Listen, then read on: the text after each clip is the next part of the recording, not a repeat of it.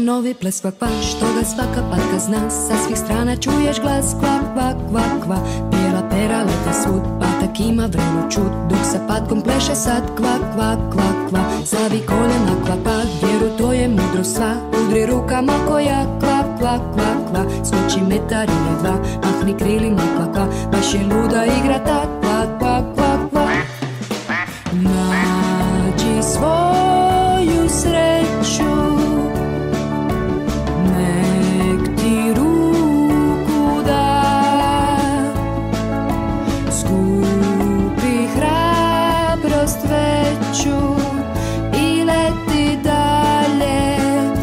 Uz kvak kvak kvak Pleši, pleši taj kvak kvak Samo s onim koji zna. Plesat cijelu noć i dan Kvak, kvak, kvak, kvak Neka uhvate se svi Ispod ruku, al po tri. Biće jedan veliki kvak, kvak, kvak, kvak Ispred mene stani sad Primjer svima ti ćeš dat. Kao pravi patak sad Već plešeš ti.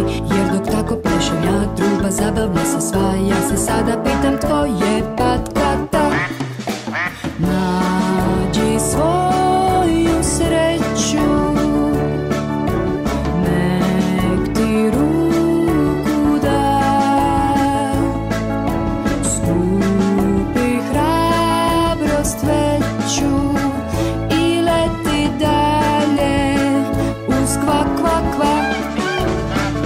Ovaj novi ples kvak, kvak Čak i guska plesak zna Svud se čuje njihov pjev Kvak, kvak, kvak, kvak Mahni krilima i tad Skuči prvo natrag sad Smisli nešto novo ti za kvak, kvak, kvak Pleši, pleši taj kvak, kvak Dalje traje igra ta Jer dok glazba svira još to nije kraj. Cijeli svijet je sad kvak, kvak Nova moda je kvak, kvak Udri dlanom u svoj Kvak, kvak, kvak, kvak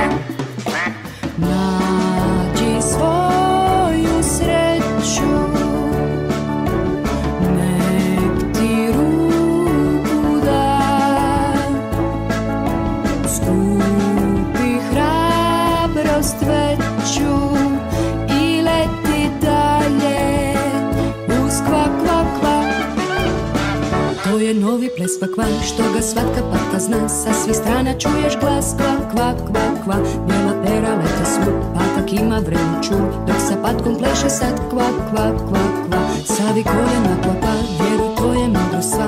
Udri rukama koja kvak kvak kvak kvak. Skoči metar ili dva, mahni krilima kvak kvak Baš je luda